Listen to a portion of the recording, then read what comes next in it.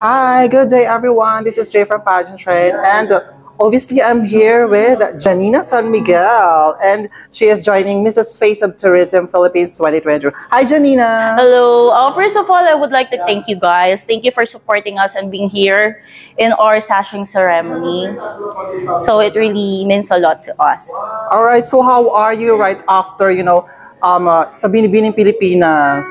Ano yung mga pinagkaabalahan mo?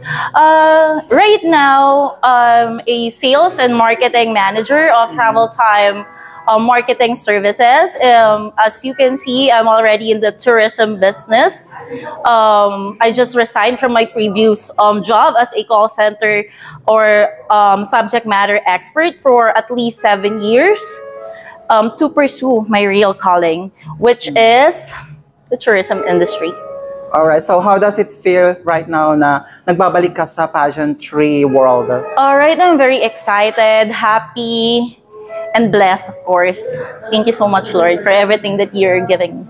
I'm just curious about how did Janina San Miguel um, overcome of all those bashers? At least um, I don't mind them, and if someone is bashing you, it means that you're relevant.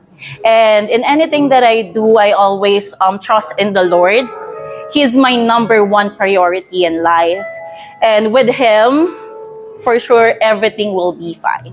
What do you think is your edge among the other candidates? That I love God, I love my family, and I'm very passionate in everything that I do. All right. So thank you so much, Janina. Uh, your greetings uh, to your fans and supporters. Okay. Thank you so much, everyone, for um, supporting mo- me. Um, not just right now, but even before during Binibini. I really appreciated you. And God bless all.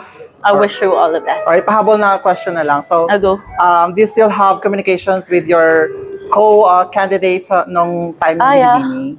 Oh yes, actually during my wedding, uh, my bridesmaid is my Miss Universe Jennifer Barrientos and Patricia Per- Fernandez, my Miss International. And then we just met at least a month ago. We have dinner in Podium, Las Flores. That's it. All right. Thank you so much, Janina San Miguel, and best of luck on your Mrs. Face of Tourism Philippines journey side.